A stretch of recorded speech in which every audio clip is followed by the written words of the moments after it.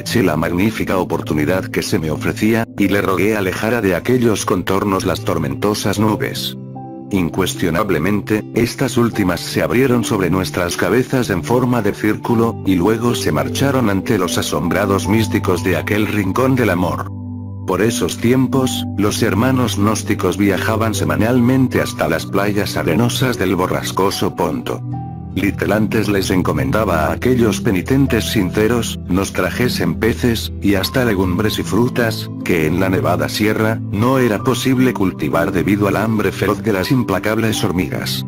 Estas involucionantes criaturas, devoraban insaciables, flores, frutas y verduras, y ciertamente nada podía detenerlas. Así es la vorágine de la selva. Esto lo saben muy bien los divinos y los humanos. Las rondas nocturnas de las cambochas, u hormigas, son ciertamente espantosas. Las sierpes venenosas, tales como la temible talla X, y es otras reconocidas desde los antiguos tiempos, con los clásicos nombres de cascabel, coral, y mapaná, medraban espantosas por doquiera, aquí, allá, y acullá.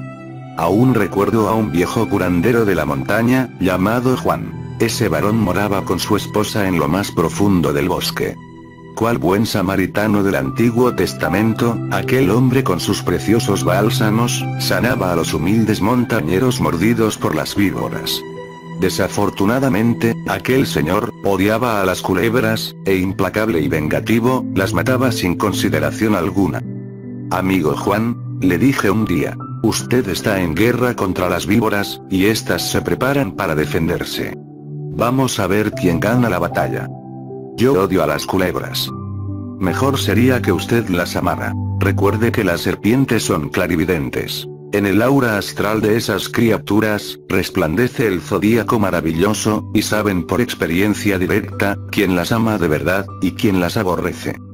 Yo no puedo amarlas. Siento que se me descompone el cuerpo cuando las veo. Culebra que se me atraviese en mi camino, la mato. Oh, buen anciano. Doce serpientes os han mordido, y cuando la decimotercera os hiera, moriréis. Un poco más tarde, cerca a su cabaña solitaria, el viejo fue mordido por una temible culebra, que enroscada tres veces y media, escondida le aguardaba. Se cumplió mi profecía. El viejo curandero, falleció con el arcano 13 de la cábala. Ninguno de sus amigos pudo encontrar a la venenosa sierpe. El anciano médico, portaba siempre entre su moral, algunas plantas maravillosas. Recordemos a las cinco capitanas. Capitana Solabasta. Capitana Generala. Capitana Silbadora. Capitana Pujadora. Capitana Lengua de Venado. Milagrosos vegetales no clasificados por la botánica, y solo conocidos en la Nevada Sierra, cerca de las tormentosas aguas del Maguriba.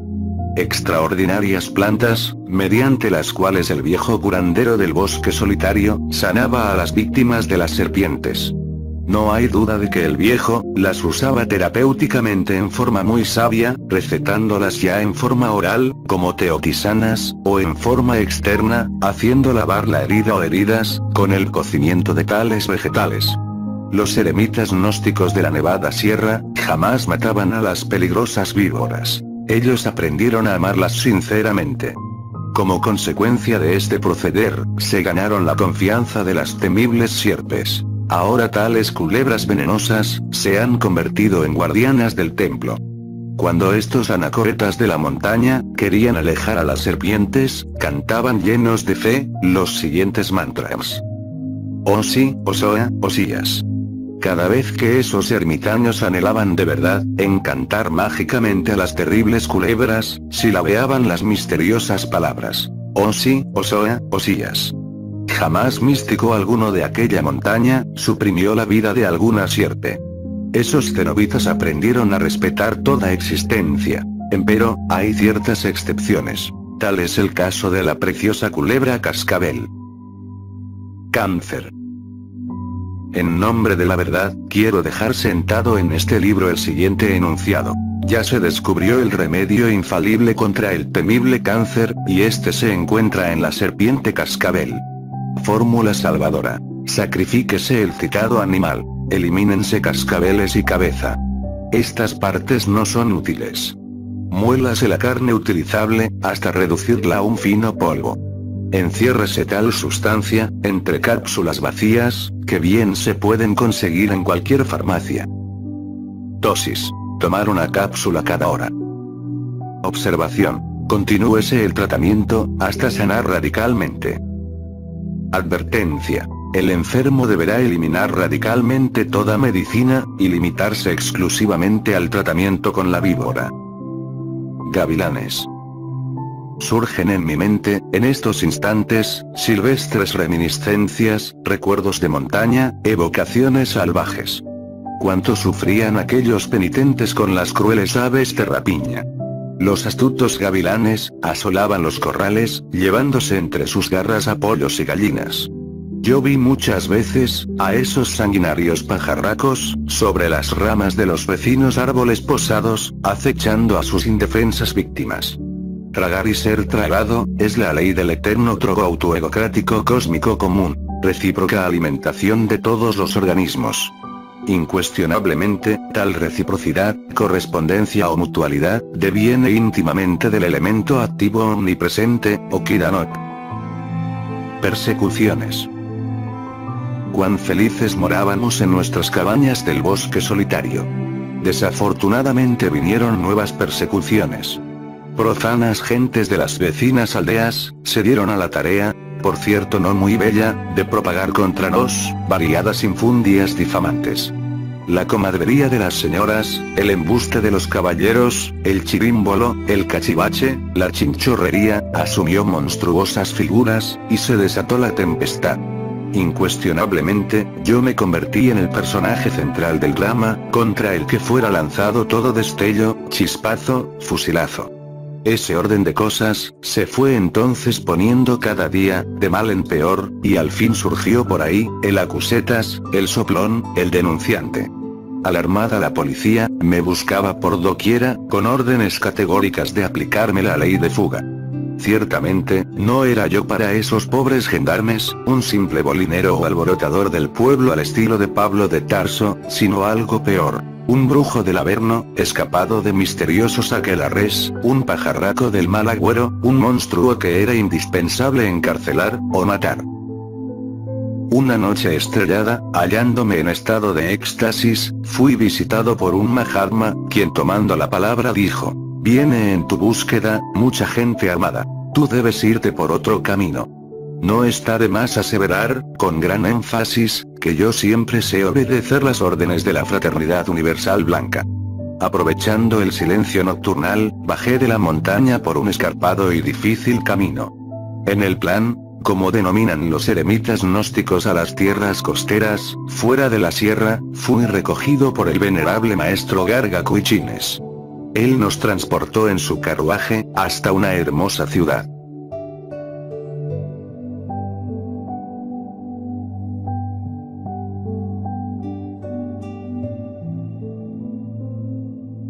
Capítulo 20. El secreto del abismo excluyendo de mi mente, toda posible farfulla, sin jactancia alguna, humildemente, confieso francamente y sin ambajes, que después de haber subido por las cinco gradas de las ígneas iniciaciones, me fue urgente el desarrollo en la luz con los ocho grados de la iniciación venusta. Trabajar en la fragua encendida de Vulcano, el sexo, resulta inaplazable cuando de verdad se quiere el completo despertar de la primera serpiente de luz. Escrito está con palabras de oro, en el libro de todos los esplendores, lo siguiente. El Kundalini se desarrolla, revoluciona y asciende, dentro del aura maravillosa del Mahachohan. Incuestionablemente, primero trabajamos con el fuego, y luego con la luz. Jamás debemos confundir a las sierpes del fuego, con las víboras de la luz. El ascenso extraordinario de la primera serpiente de luz, hacia adentro y hacia arriba, a lo largo del canal medular espinal del cuerpo físico, me permitió conocer el secreto del abismo. El fundamento de tal secreto, se encuentra en la ley de la caída, tal como fue formulada por San Benoma. He aquí la formulación que el citado maestro dio a esta ley cósmica, por él descubierta. Todas las cosas que existen en el mundo, caen hacia el fondo. Y el fondo, para cualquier parte del universo, es su estabilidad más próxima, y dicha estabilidad es el lugar, o punto sobre la cual convergen todas las líneas de fuerzas, provenientes de todas direcciones. Los centros de todos los soles, y de todos los planetas de nuestro universo, son precisamente esos puntos de estabilidad no son sino los puntos inferiores de aquellas regiones del espacio, hacia las cuales, tienden definitivamente las fuerzas provenientes de todas las direcciones, de aquella parte dada del universo. También se concentra en estos puntos, el equilibrio que permite a los soles y planetas, mantener su posición. El tigre del Turquestán, comentando dice, al enunciar su principio, San Benoma dijo además, que al caer las cosas en el espacio, donde quiera que ello fuese, tendían a caer hacia uno, u otro sol, o hacia uno, u otro planeta, según a qué solo planeta, perteneciera a aquella parte dada del espacio en que caía el objeto, constituyendo cada solo planeta, en esa esfera determinada, la estabilidad o fondo. Los anteriores párrafos entre comillas citados, aluden claramente a los dos aspectos, externo e interno, de la ley de la gravedad. Lo exterior, es tan solo la proyección de lo interior. Siempre se repite en forma tridimensional, la gravitación secreta de las esferas.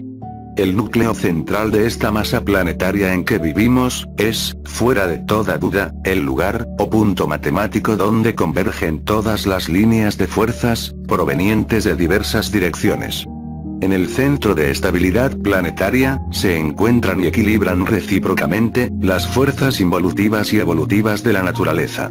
Oleadas esenciales inician su evolución en el reino mineral, prosiguen con el estado vegetal, continúan en la escala animal, y por último alcanzan el nivel del tipo humanoide intelectivo. Oleadas de vida descienden luego involucionando de acuerdo con la ley de la caída, reviviendo procesos, animales, vegetales y minerales, hacia el centro de gravedad terrestre.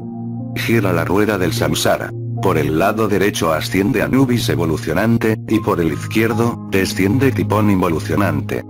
La estadía dentro del estado humanoide intelectivo, es algo demasiado relativo y circunstancial. Con mucha justeza se nos ha dicho, que cualquier período humanoide, consta siempre de 108 vidas de tipo evolutivo e involutivo, que se procesan y repiten siempre, ya en espiras más elevadas, ya en espiras más bajas. Aclaro. A cada período humanoide racional, se le asignan siempre, 108 existencias que guardan estricta concordancia matemática, con el mismo número de cuentas, que forman el collar del Buda. Después de cada época humanoide, de acuerdo con las leyes del tiempo, espacio y movimiento, gira inevitablemente la rueda del arcano 10 del tarot. Entonces resulta palmario y manifiesto, que las oleadas de vida involucionante, descienden en el reino mineral sumergido, hacia el centro de estabilidad planetaria, para reascender evolutivamente un poco más tarde. Cualquier nuevo reascenso evolutivo, desde el centro de gravedad terrestre, exige previa desintegración del mí mismo. Esta es la muerte segunda. Como quiera que la esencia está embotellada entre el ego, la disolución de este último, se hace indispensable a fin de que aquella se libere. En el centro de estabilidad planetaria, se restaura la prístina pureza original de toda esencia. Tres mil veces, gira la rueda del samsara. Comprender esto, captar su honda significación es indispensable e inaplazable, si es que realmente anhelamos la liberación final. Continuando con el presente capítulo, es necesario llamar la atención del lector, con el propósito de aseverar lo siguiente. Concluidos los 3.000 períodos de la gran rueda, cualquier tipo de autorrealización íntima, resulta imposible. En otras palabras, es necesario afirmar el hecho ineludible, de que a toda mónada, se le asignan matemáticamente, 3.000 períodos para su autorrealización interior profunda. Es indubitable que después de la última vuelta de la rueda, las puertas se cierran. Cuando esto último sucede, entonces la mónada, la chispa inmortal, nuestro real ser, recoge su esencia y sus principios, para absorberse definitivamente entre el seno del espíritu universal de vida. El supremo para Brahman. Escrito está con misteriosos caracteres de fuego, en el testamento de la sabiduría antigua, el hecho concreto, claro y definitivo, de que muy pocas son las mónadas divinales, o chispas virginales, que realmente quieren la maestría. Cuando una mónada cualquiera, anhela ciertamente la maestría, es incuestionable que la consigue, trabajando intensivamente a su esencia. Toda esencia íntimamente